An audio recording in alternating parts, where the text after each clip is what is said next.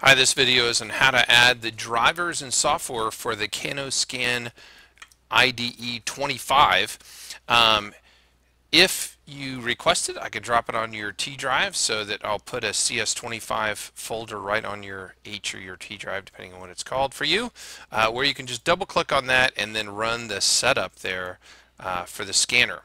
Just say yes, install,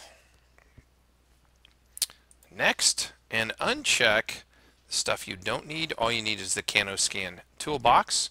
Click install, yes, install, and it's going to run through and start doing the install procedure for the CanoScan. Next, next, next. Next again on the new software and you're getting this Scano, toolbox and all the drivers set up for you uh, so that you can use the CanoScan 25. So now it's installed. So if I want to, oh, no, not, not all the way done. There we go. Now I'm all the way done. And we don't need to register the software. It's done and it says you have to restart the system in order for the scanner to work correctly and I'll have to stop the video in order to do the restart but then this CanoScan, I'm going to go ahead and uh, delete the shortcut to the manual here on my desktop uh, the Cano did I delete both of them? nope, I didn't. Where's the CanoScan?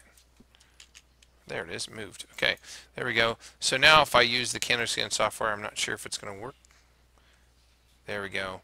It gives me the ability to open that up and say I want to make a scan. I can set up what these scan settings are in the settings and you can see you can set the quality all the way up to 600 dots per inch which is uh, pretty good you can say where it's going to go to and then you just hit the apply and now the scan button every time I do that with that scan 1 setting will be at that quality it's going to be a color multi-scan it's going to up update the file name as it goes to a JPEG file and you have other options there as well as what kind of file you want to use. But that's it for using, installing and using this scanner uh, on any device we've got at school.